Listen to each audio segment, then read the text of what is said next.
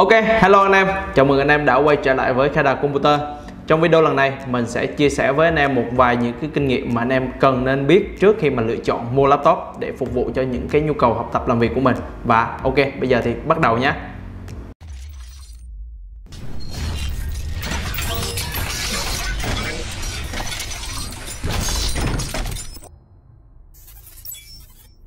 Trước khi mà mua laptop thì cần lưu ý những cái điều gì? Đó là cái câu hỏi của rất nhiều anh em và trong đó có cả mình ngày xưa. Ngày xưa khi mà mình chuẩn bị mua laptop mình cũng rất là phân vân, mình không biết phải lưu ý về bất kỳ một vấn đề gì cả. Và hậu quả là mình đã mua phải một cái chiếc laptop khá là quỳ bắp. Và chính vì vậy sau một khoảng thời gian mình làm việc tại Khai Đào Computer và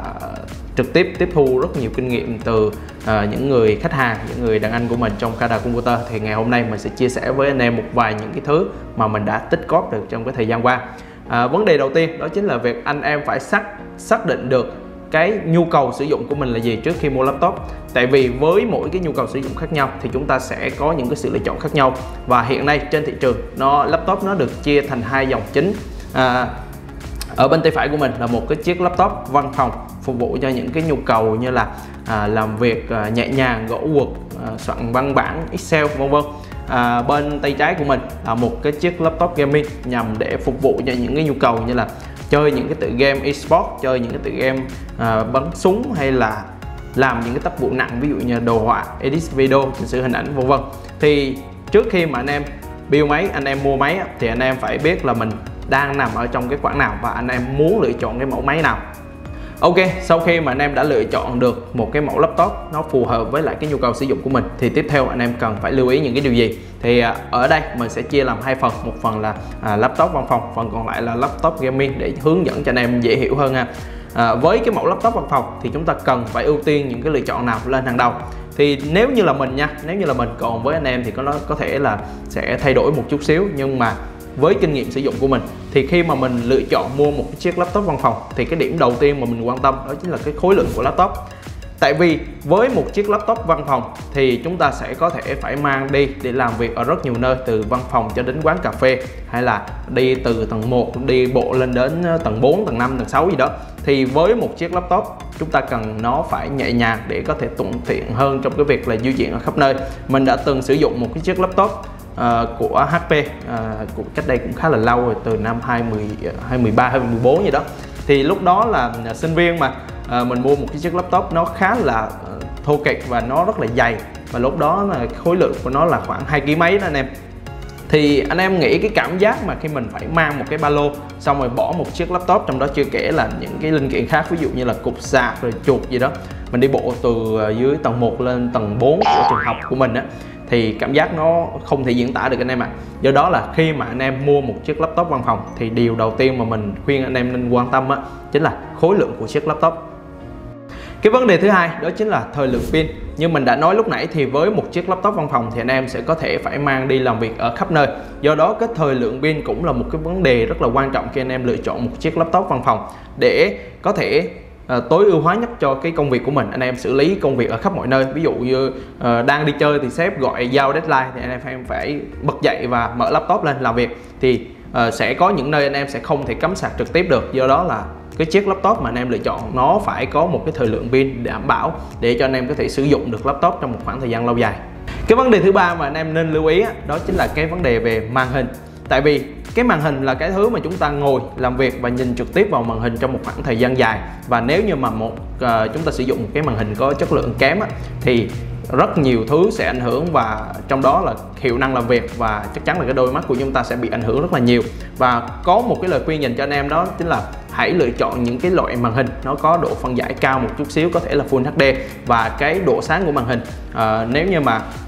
tốt thì có thể là từ 200 nit nó đổ lên thì nó sẽ thuận tiện hơn trong cái việc là anh em di chuyển và làm việc ở ngoài trời. Khi mà chúng ta mở laptop ở ngoài trời lên á, và chúng ta thao tác trên laptop thì cái màn hình nó sẽ không có bị chói lóa không có bị mờ và anh em sẽ dễ dàng thực hiện hơn rất là nhiều. Còn với những cái loại màn hình mình nó có cái độ sáng thấp á, thì anh em chỉ có thể là uh, sử dụng ở trong cái môi trường là văn phòng ở trong nhà thôi. Còn nếu như mà mang ra ngoài trời thì nó sẽ rất là khó để sử dụng cái vấn đề thứ tư mà anh em nên lưu ý với một chiếc laptop văn phòng đó chính là bàn phím. Ờ, mới tưởng chừng thì đây là một cái vấn đề nó không quá quan trọng nhưng mà thực tế là nó lại cực kỳ quan trọng anh em ạ. Và cá nhân mình mình đã trải nghiệm qua cái vấn đề này khá là nhiều. Đó chính là khi mà chúng ta mang laptop đến văn phòng làm việc có rất là nhiều người và yêu cầu cái độ yên tĩnh cao thì vô tình là cái bàn phím của mình nó lại phát ra cái âm thanh rất là chói tai. Nó lách cách lách cách khiến cho mọi người uh, xung quanh bị ảnh hưởng rất là nhiều và mình cũng cảm thấy rất là khó chịu về cái vấn đề này. Và với một chiếc laptop văn phòng thì không thể nào bạn em lại uh, mang theo một cái uh, bàn phím rời ở ngoài được nó rất là cồng kềnh. Và thậm chí là nếu như anh em có thể mang thì với khá là nhiều chị em với một cái túi sách nó nhỏ nhỏ như thế này thì việc mà vừa bỏ laptop vừa bỏ bàn phím vào trong cái túi thì nó rất là khó chịu nó rất là khó khăn. Do đó là khi mà lựa chọn những cái chiếc laptop văn phòng thì mọi người hãy nên lưu ý lựa chọn những cái loại laptop nó có một cái bàn phím à, tốc độ phản hồi à, hay là cái à, hành trình phím nó vừa đủ thôi nó không cần phải quá dài và cái âm thanh phím nó phát ra nó à, càng yên tĩnh càng tốt. Cái vấn đề thứ năm và cũng là cái vấn đề cuối cùng mà mọi người nên lưu ý khi lựa chọn một chiếc laptop văn phòng đó chính là cấu hình. Ờ, tại sao mình lại đặt cái cấu hình này ở cuối cùng? Tại vì là thực tế với cái trình độ phát triển của cái công nghệ hiện tại á, thì cái việc mà lựa chọn một chiếc laptop để có thể phục vụ cho những cái nhu cầu học tập làm việc gõ quật soạn thảo văn bản bình thường lướt web xem phim bình thường thì cái chuyện này nó rất là đơn giản. Mọi người chỉ cần bỏ ra một khoản tiền tầm ờ, 4 5 triệu 5 6 triệu là chúng ta đã có một chiếc laptop mới hoặc cũ và chắc chắn là những cái chiếc laptop này sẽ phục vụ tốt cho những cái nhu cầu mà mình vừa mới kể ra. Do đó là mình sẽ không có đặt nặng quá nặng về cái phần cấu hình. Và khi mà lựa chọn thì mọi người có thể lựa chọn những cái chiếc laptop có cái cấu hình là Core i3, Core i5 vẫn là ok. À, nếu như mà ờ, tài chính nó ổn định hơn một chút xíu thì mọi người có thể lựa chọn lên Core i7, Core i9 tuy nhiên thì mình thấy nó không có phải là Ờ, quá cấp bách quá gọi là quá quan trọng để mọi người cần phải đưa lên i7 i9 làm gì cả. Chúng ta chỉ cần i3 i5 và cái thế hệ CPU nó ờ, gần đây nó mới một chút xíu là được. Ờ, có thể là i3 thế hệ 10 i5 thế hệ 10 đổ lên. Ở thời điểm hiện tại là nó đã rất là ok rồi. Ok, như vậy là mình đã vừa mới chia sẻ với mọi người một vài những cái điểm mà mọi người cần nên lưu ý trước khi mà lựa chọn một chiếc laptop văn phòng. Và bây giờ thì chúng ta sẽ đến với những cái lưu ý khi mà mọi người lựa chọn một chiếc laptop gaming thì cái điểm đầu tiên mà mọi người cần nên lưu ý khi lựa chọn một chiếc laptop gaming đó chính là sức mạnh về cấu hình. Nếu như với một chiếc laptop văn phòng thì cái việc lựa chọn cấu hình nó không có quá quan trọng. Thì với một chiếc laptop gaming, khi mà mọi người sử dụng nó để chơi những cái trò chơi có đồ họa nặng nè, hay là xử lý những cái tác vụ liên quan đến đồ họa như là edit video, chỉnh sửa hình ảnh, thì bắt buộc cái chiếc laptop của chúng ta nó phải có một cái sức mạnh đủ dùng để cho mọi người có thể xử lý được tất cả những cái tác vụ khó nhằn trên máy tính. Do đó là cái cấu hình là cái yếu tố đầu tiên mà mọi người cần phải nên quan tâm khi mà lựa chọn mua một chiếc laptop gaming. Và cái lời khuyên dành cho mọi người ở đây đó chính là hãy cố gắng lựa chọn và chọn lọc những cái lời tư vấn thích hợp. Tại vì mình thấy có rất nhiều trường hợp uh, nhân viên tư vấn bảo là anh ơi cái con laptop gaming này nó chạy Core i3 nhưng mà nó rất là mạnh anh à nó có thể chơi tốt những cái tựa game uh, khó nhằn ở thời điểm hiện tại hay là giúp cho anh có thể edit render video một cách mượt mà. Okay. thì uh, mọi người hãy bỏ qua những cái lời tư vấn đó tại vì là thực tế với một cái con Core i3 thì cái sức mạnh của nó cho dù là Core i3 thế hệ 12 thế hệ mới nhất hiện tại á, thì nó cũng không thể nào mang lại những cái trải nghiệm tốt khi mà mọi người chơi game nặng hay là xử lý đồ họa nặng được. Và do đó là mọi người hãy cố gắng lựa chọn những cái con CPU ví dụ như là Core i5, Core i7, Core i9 và cái đời thì tương tự nó càng cao nó càng tốt. Nó sẽ giúp cho mọi người có những cái trải nghiệm tốt hơn khi mà chơi game hay là xử lý công việc trên máy tính của mình cái vấn đề thứ hai mà mọi người cần nên quan tâm khi mà lựa chọn laptop gaming đó chính là có card đồ họa rời hay không. Nếu như với một cái chiếc laptop văn phòng thì cái việc mà có card đồ họa rời hay không thì nó không có quan trọng lắm. Nhưng mà đối với một chiếc laptop gaming thì bắt buộc mọi người phải lựa chọn cái mẫu laptop được trang bị card đồ họa rời. Tại vì với một cái card đồ họa rời thì nó mới có đủ cái hiệu năng, có đủ sức mạnh để giúp cho mọi người có thể chơi tốt những cái tựa game, có đồ họa nặng hay là uh, sử dụng để phục vụ cho những cái việc edit render video hình ảnh như hạn thì mọi người cần phải nên lưu ý kỹ cái vấn đề này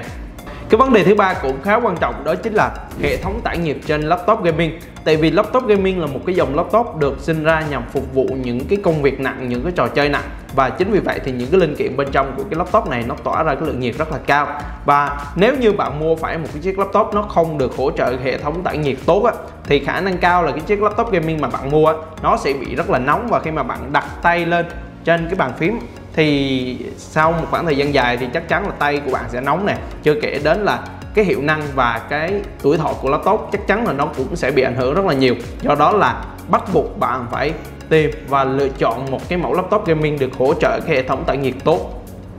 Cái vấn đề thứ tư cần lưu ý trên một cái mẫu laptop gaming đó chính là màn hình. Nếu như với một cái laptop văn phòng thì chúng ta chỉ cần có một cái màn hình à, đủ độ phân giải đủ độ sáng là được. Nhưng mà với một cái laptop gaming thì nó sẽ cần nhiều hơn như thế. À, với một cái laptop gaming thì chắc chắn là bạn sẽ cần phải có một cái màn hình có diện tích đủ lớn nè phải có tần số quét cao. Và đặc biệt là mọi người phải lưu ý về cái vấn đề tần số quét. Tại vì chúng ta sử dụng laptop gaming để làm gì? Để chơi những cái tựa game